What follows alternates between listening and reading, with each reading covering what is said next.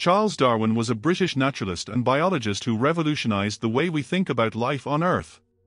His groundbreaking theory of evolution through natural selection transformed the field of biology and had far-reaching implications for fields ranging from anthropology to philosophy. Early life and education Charles Darwin was born on the 12th of February 1809 in Shrewsbury, England. He was the fifth of six children born to Robert Darwin, a wealthy physician, and Susanna Darwin. From an early age, Charles showed an interest in natural history, collecting shells, rocks, and insects. In 1825, he enrolled at the University of Edinburgh to study medicine, but he found the lectures dull and the surgeries gruesome. After two years, he transferred to Cambridge University to study theology and natural history. In 1831, Charles was offered the opportunity to join the HMS Beagle on a scientific voyage around the world. The expedition would last five years and take Darwin to places like Brazil, Argentina, Chile, Australia, and the Galapagos Islands. The trip would prove to be a turning point in his life and career. The Voyage of the Beagle During the voyage, Darwin collected specimens of plants and animals and made detailed observations of the geology and biology of the places he visited. He was particularly struck by the diversity of the flora and fauna he encountered, and he began to develop his ideas about how species might change over time. One of the most important stops on the voyage was the Galapagos Islands, located off the coast of Ecuador. There, Darwin observed a variety of finches with different beak shapes and sizes. He hypothesized that the finches had evolved from a common ancestor and that their beaks had adapted to different food sources on the different islands. This idea would become a key element of his theory of natural selection. After returning to England in 1836, Darwin began to work on his notes and collections from the voyage. He also corresponded with other naturalists, sharing his observations and ideas.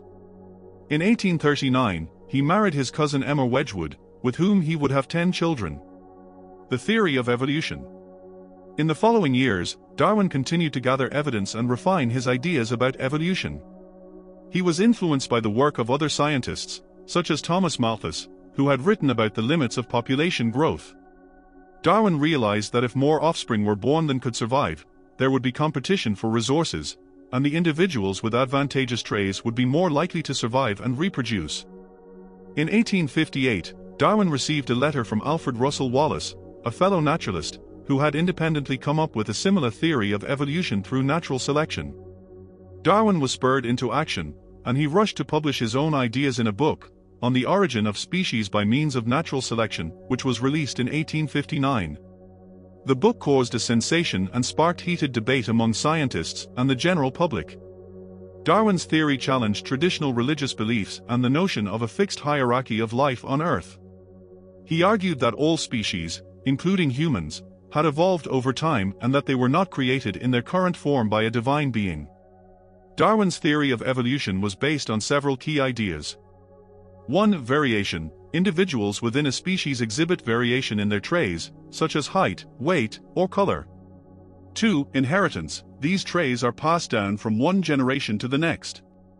3. Selection, some traits provide an advantage in survival and reproduction, and these individuals are more likely to pass on their traits to their offspring.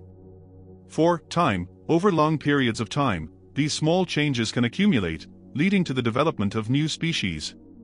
Darwin's theory was met with skepticism and criticism from many quarters, including some prominent scientists of his day. However, over time, the weight of evidence in support of evolution became overwhelming, and his ideas became widely accepted in the scientific community. Darwin's legacy Darwin's theory of evolution has had a profound impact on many fields of study, including biology, anthropology, psychology, and philosophy.